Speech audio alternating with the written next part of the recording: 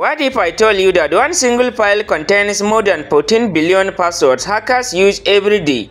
Today, I am going to show you how to unzip and explode the rockyou.txt file in Kali Linux step by step. This is for ethical learning only. Do not use it illegally.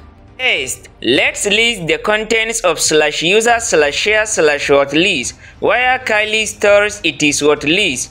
Watch closely. Here's rockyou.txt, but it is stored as a .gz file, so we need to decompress it to get the .txt file. So you can do that by typing sudo gunzip slash user slash share slash shortlist slash rockyou.txt.gz. sudo gives admin rights. GNU zip decompresses the .gz file and creates rockyou.txt file. If the file is already unzipped, you will get an error. That is fine.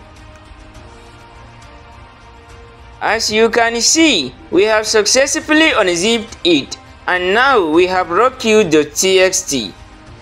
You can confirm this by typing cat slash user slash share slash wordlist slash rockyou.txt.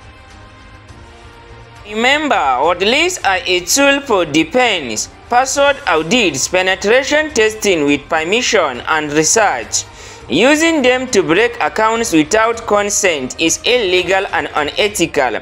Always have writing permission. If you found this useful, smash the like button, subscribe and hit the bell. I will post more Kali demos and ethical hacking tutorials every week. Drop a comment if you want me to show you how to use this with Hashcat or John the Reaper next.